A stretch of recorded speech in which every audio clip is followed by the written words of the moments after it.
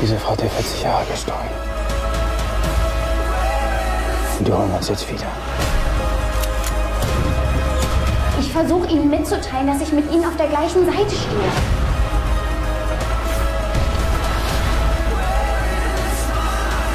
You decided your life is worth more than hers. Jugend ist. Das klingt so verführerisch, aber.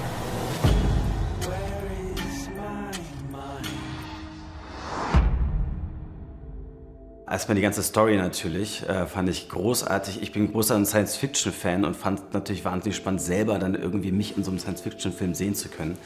Ähm, aber natürlich irgendwie auch die große moralische Frage, die da aufgeworfen wird, irgendwie, wie weit würde man selber gehen, um länger leben zu können oder sich verjüngen zu können. Ja, und ähm, das, diese Frage wirft dieser Film natürlich auf und das fand ich wahnsinnig spannend. Ich wollte dabei sein, weil ich hatte mit Boris ein, ein Gespräch. Ich hatte das Buch noch gar nicht gelesen. Wir hatten ein privates äh, Gespräch bei einem Essen. Hat er mich, äh, äh, haben wir uns getroffen und er hat mir von einem Projekt erzählt.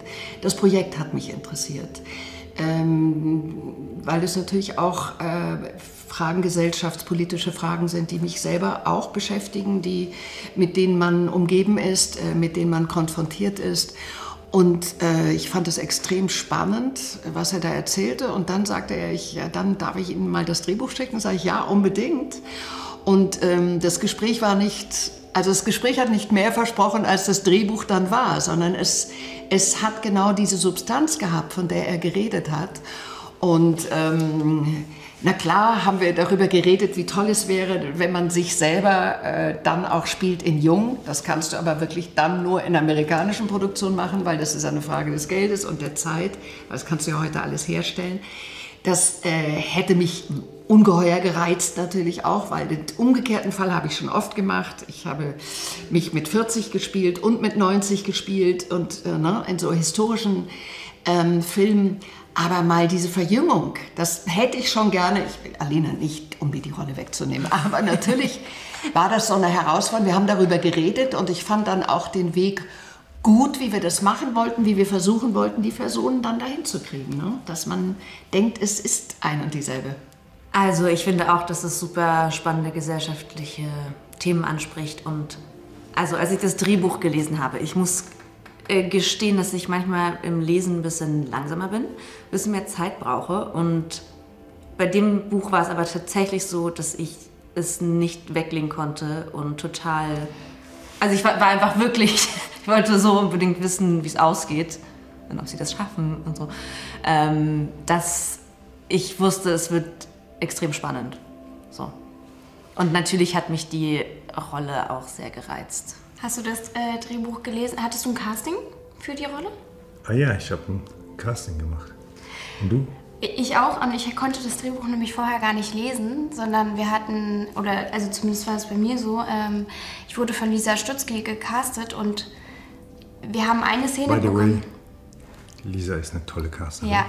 Okay, ja. Und ähm, ich hatte nur diese Szene und sollte tatsächlich auch die Rolle von Iris Berben ansprechen oder vorsprechen und war total aufgeregt und dachte so, Gott, ich krieg das nicht hin und war total verzweifelt und war mir 100% sicher, dass ich das nicht bekomme. Eigentlich wie auf alle anderen Rollen auch. Also ich habe ähm, ja, habe äh, viel mit dem Regisseur, mit Boris Kunz gearbeitet, äh, was toll war. Ich habe, wir hatten Proben zusammen mit Iris Berben und allen anderen Kollegen waren wir in Vilnius, wo wir ja auch gedreht haben und haben uns intensiv mit den Figuren, mit den Rollen, mit, äh, mit der Geschichte auseinandergesetzt, um zu gucken, dass es auch wirklich ähm, ja, keine Lücken gibt, dass alles Sinn macht. Ist ja nicht ganz so einfach alles, wie das da funktioniert.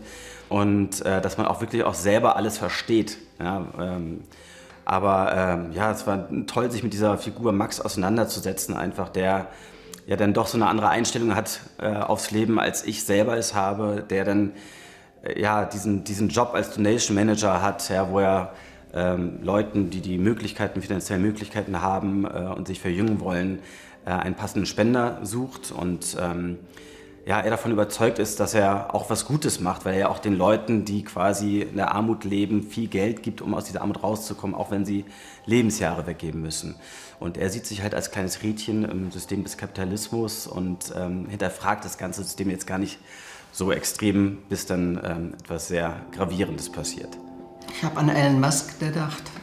Ich habe an die Jungs, die Global Player gedacht, die, ähm, die uns das alles einbrocken gerade.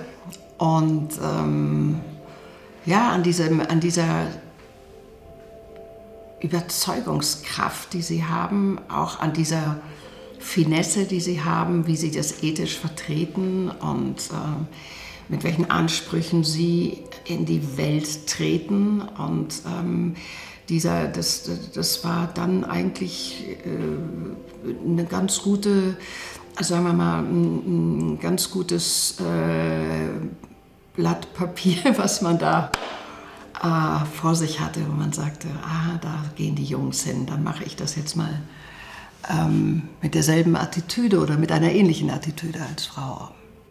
Ich wollte auch so eine Lichtgestalt da haben. Das fand ich ganz mit den Haaren, die ja erst dunkel sein sollten.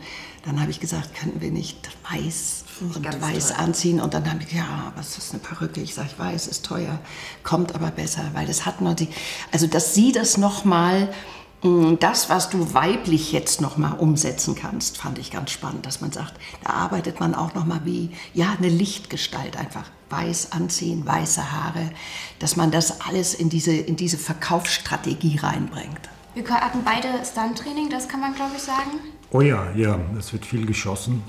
Genau, also wir hatten sehr, es war eine sehr körperliche Arbeit für jede Rolle, egal was mhm. ähm, die Rolle für eine Position innerhalb der Geschichte hatte. Ähm, Und es haben, war sehr kalt. Genau, wir haben einen Liter umgedreht. Kalt. Das heißt, es war sehr, sehr kalt. Wir haben Ende Februar, Anfang März bei Kalte minus Nächte. 20 Grad ähm, zwei Wochen lang durch die Nächte durchgedreht. Ähm, aber es war eine tolle Arbeit. Also ich fand, es war sehr fordernd, aber ich habe sehr viel gelernt und ich habe mich total gefreut, dass ich das erste Mal so richtig Stunt-Training hatte. Du hattest das wahrscheinlich schon tausendmal.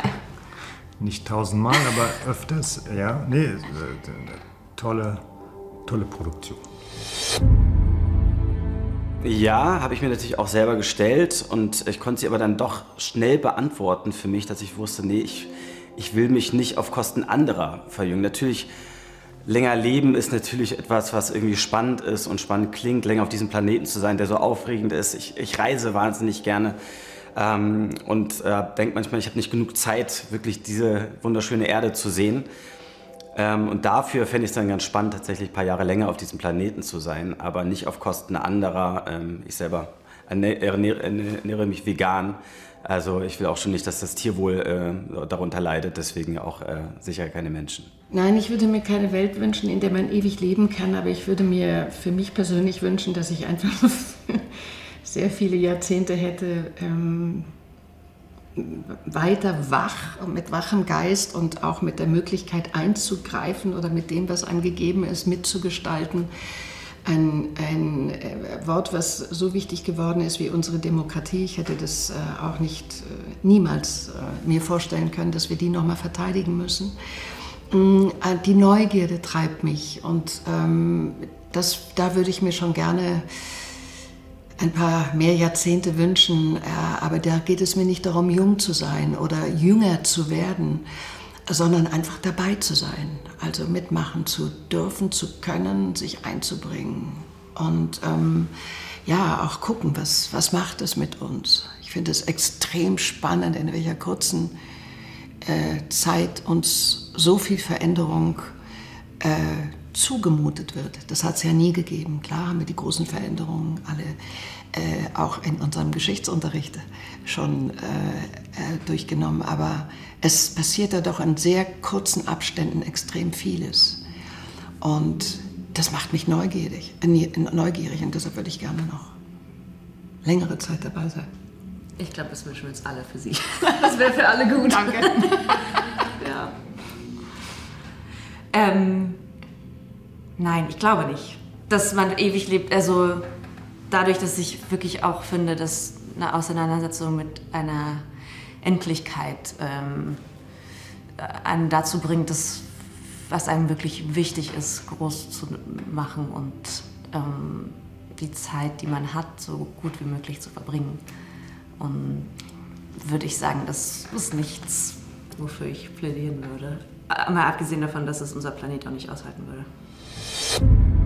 Ha, da muss ich mal kurz nachdenken. Das ist schwierig. Es ist wirklich schwer zu sagen. Es waren so viele tolle Szenen und ich habe mit so vielen tollen Kollegen arbeiten dürfen. Aber ich muss sagen, ich, da bin ich dann so ein bisschen klischeehaft junge. Die ganze Endsequenz, wo sehr viel Ex ähm, Action sein wird und Kämpfereien und Explosionen und all sowas.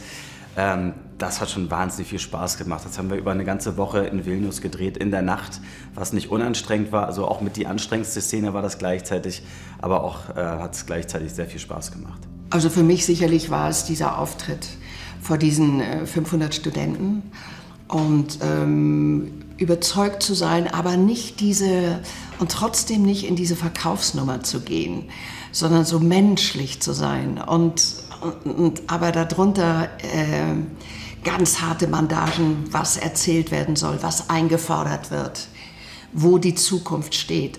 Und das trotzdem jetzt nicht mit so einer riesen Allure zu machen, sondern so, da, da war ich mir, da, da war ich so am Suchen, ne? wie, wie, das ist ja leichter, wenn du das ganz laut und groß machst.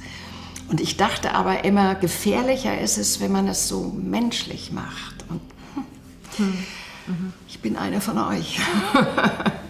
Also das war so, wo ich dachte, es ist ja auch dann die einzig große Szene, die da ist. Es war dann auch, wo ich gesagt habe, okay, wenn ich diese Szene habe, dann drehe ich das auch. Ähm, weil das muss, irgendwas muss von ihr erzählt werden. Irgendwo muss sie die Möglichkeit haben zu zeigen, wer sie ist. Das war's. Ähm, ich glaube, für mich war total spannend eine Szene, wo wir die Alterung von Elena gedreht haben ich saß äh, fünf Stunden in der Maske und die haben einen fantastischen Job geleistet. Ich sah wirklich aus wie meine Omi, die ganz toll ist. Das war, und ich hatte an diesem Tag Geburtstag. Also ich bin ein Jahr älter geworden eigentlich und dort dann aber 40 Jahre älter. Und das ist schon, ähm, schon auch Wahnsinn und ist fürs Spiel natürlich auch absolut hilfreich, wenn man das am eigenen Körper sieht. Wenn du deine Ende anschaust und das einfach ähm, sehr viel älter ist. So. Das fand ich echt absurd, aber auch ähm, ja, voll spannend.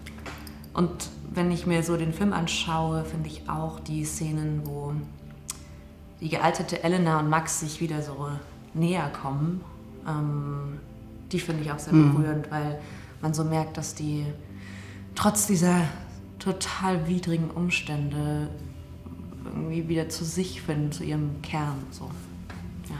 Ich hatte eine Szene, ich glaube, das ist auch kein Spoiler, wenn ich die ähm, erzähle. Und zwar renne ich da nachts durch den, äh, mhm. durch den Wald und es ist einfach, ich oh, war ja. in ja. äh, gerade mal Unterwäsche.